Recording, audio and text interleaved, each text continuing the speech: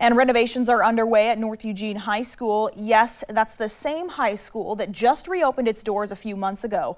The district is now making repairs after the building experienced water damage following the ice storm. KEZI 9 News reporter Jennifer Singh shows us how the damages have impacted not just the building, but also the students within. The brand new North Eugene High School just opened in the fall after years of anticipation and construction.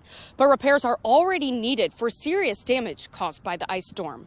During the recent ice storm, the building was hit pretty hard with water intrusion. We had a lot of damage done to our, a lot of our performing arts area, our um, choir room, band room, a lot of flooding that happened. You know, some of the um, the walls um, kind of got messed up a little bit, and then it, it, obviously impacted a lot of the flooring as well. And then in the commons area as well, there were some leak that some leaks that happened, and um, were hitting the floor as well too.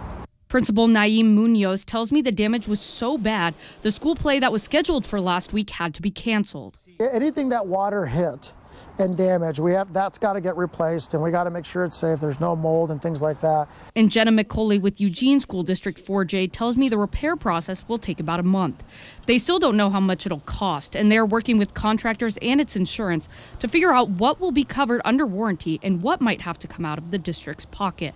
Students are still on campus, but Principal Munoz says at the moment, roughly 10 to 12 percent of the school is blocked off, including the auditorium you know, our performance performance art students are definitely being impacted the most, but um, um, our staff has been wonderful. They've been very adaptable, and um, they understand that this is something that we don't have control in.